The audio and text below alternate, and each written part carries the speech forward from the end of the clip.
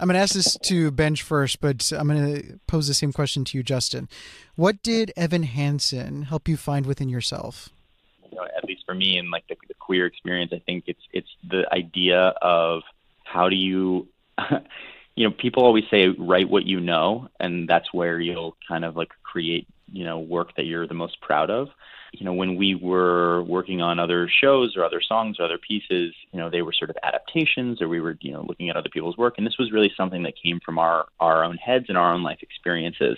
And I think the fact that we were writing it means that we were grappling with a lot of the same issues. And I know that I continue to grapple with a lot of these issues of how do you sort of unlearn, um, you know, the, the, the messages of the world that tell you that, you know, who you are isn't enough? And how do you find you know solace in knowing that your um, your path towards like authenticity and truth is one that is enough every day? And you wake up and you just try your hardest and you try to just be yourself and be a good person and, and do the right thing and find the people that that love you.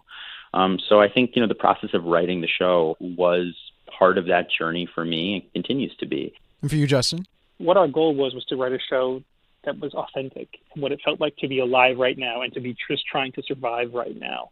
And it became an illustration of, you know, these characters aren't struggling with something, each of them, and, and yearning for connection just because it makes the best narrative.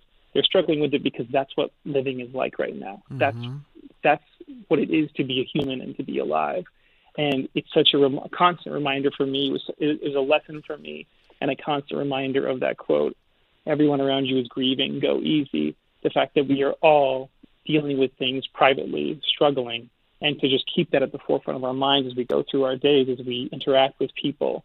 Um, and it, it, it was such a crystallization of it watching the show once we put it together and seeing, wow, each of these characters is struggling with something.